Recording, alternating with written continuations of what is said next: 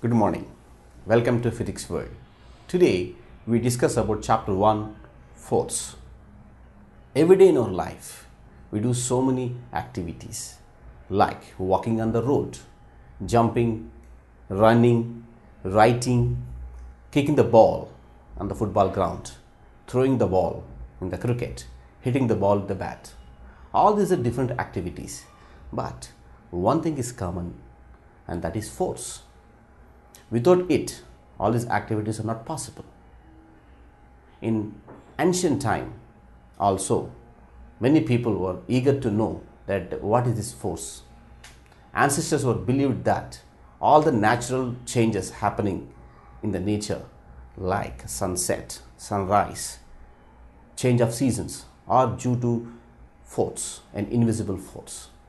In 19th century, the father of modern physics, Albert Einstein, also told that the universe is working only because of some invisible force. The Big Bang explosion happened because of the force. So that justifying that all the activities happening because of force only. So today our point of discussion is what is force? Suppose you have a table and a person standing on the floor and he is pulling the table in this direction. Okay then table moving the moving towards left side. Suppose the same person in another case in another case he just pushing the table. Then the table moving the forward direction. You want to open the door. What do we do? You pull the door you want to close the door. What we do? Yes we push the door. So in all these examples we are applying the force actually. Here also applied the force. In this case also I applied the force. In the door example also I applied the force.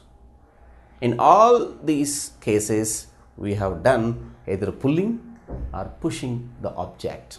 So force is simply defined as push or pull push or pull on a given body. It's a push or pull on a given body. That is force now we should know that uh, yes many types of forces are there in nature. And because it's forces many changes happening to the body. Sometimes body change its state due to application of force sometimes body changes shape. Sometimes with the force you can change the speed of the body. Okay before going to discussion deep in the discussion of all these changes first of all we know about we have to know about what is types of force. Basically we have two types of force. One is contact force and second one is non-contact force contact the word tells you that contact means when you want to apply this force the two bodies should be in contact.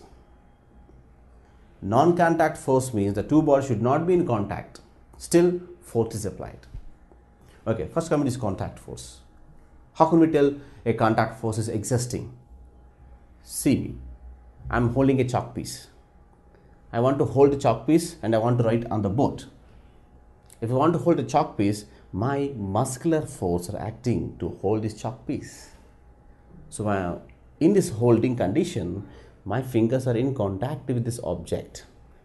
So the muscular force what is making able to hold this chalk piece is contact force. A person a person walking walking on the road by holding a suitcase walking in the forward direction.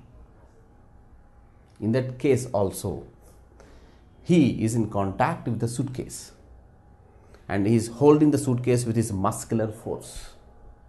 And muscular force is a contact force. You want to throw a ball. So what we do? You don't throw a ball like this you stretch your hand in front of you and you throw the ball. So when you're stretching the hand, the muscular force acting on the ball and through which the ball is thrown. So generally the muscular force is generated because of muscular cells in our body. The muscular cells have the has the ability to stretch and contract.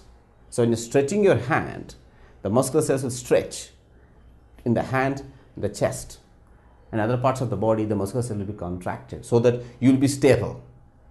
And you can stretch the hand and you throw the ball. So in that way, the muscular force is generated and making the bodies to move or making the bodies to have some change. So that is contact force. Muscular force. Now coming to non-contact force. In non-contact force, the body should not be in contact. Still, the force is applied. Guess what is non-contact force? Maybe you studied in your lower grade, grade 7 or grade 6. Yes, you got it. Now I'll give a small clue to you. What is this? This is North Pole, this is South Pole. So what is called? Yes, this is called a bar magnet. Bar magnet. Now if you keep any iron material like iron nail, iron nail when you kept near the bar magnet, what happens? Even the bar magnet not touching the iron nail, the iron is attracted towards bar magnet. So without in contact, still it able to attract the iron nail. So magnetic force here is non-contacting force. Magnetic force is non-contacting force. Now I'll give another example to you. You know that when you drop any object, then what happens? It fall on the ground. Why it is falling on the ground? Everyone knows that because of gravitational force of the earth. Here also, when the body like a ball is falling on the surface. It's falling on the surface because of gravitational force. Gravitational force. And this gravitational force attracting the ball towards the surface. And this grav surface and the ball is not in contact. So gravitational force is also a non-contact force